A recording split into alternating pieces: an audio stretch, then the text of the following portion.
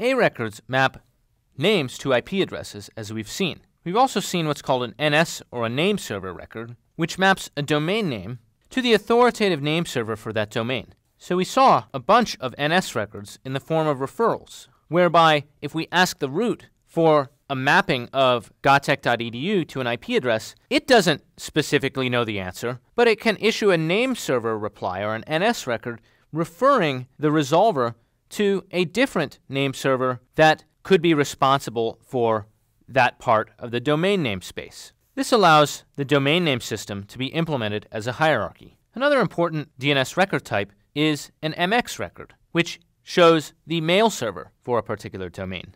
Occasionally, one name actually is just an alias for another name. For example, www.gatech.edu actually has a slightly different real name.